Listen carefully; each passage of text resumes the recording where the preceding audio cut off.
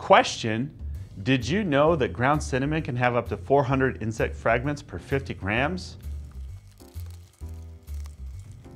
Oh, that's gross.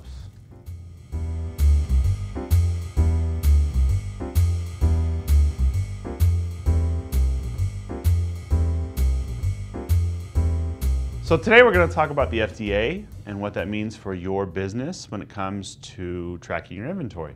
So the FDA, as you can imagine, stands for the Food Drug Administration. And so they deal with food and drugs and really anything biological that you might put in your body. Let's leave it at that. When it comes to the FDA, the biggest piece to keep yourself ready for an audit, should that ever happen, is traceability. What are we talking about? So let's think of your warehouse in terms of traceability. Can you track all of your items, lot numbers, batch numbers, uh, things that are coming in from other vendors? Can you track it from end to end? What's coming in, if you manufacture an item or part, and then what is going out. Because you need to be able to know at every step of the way what you have, if it was turned into something else, what went into it, and where it went.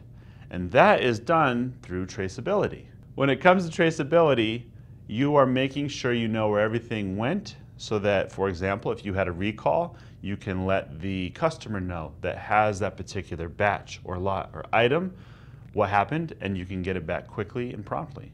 Or let's say that even from the side of manufacturing, you have uh, materials that expire, raw goods that expire. You need to be able to track and trace those so that you can cycle those out the proper way and they're not just getting pushed into the back on your warehouse shelves because that could lead to some problems, I hear.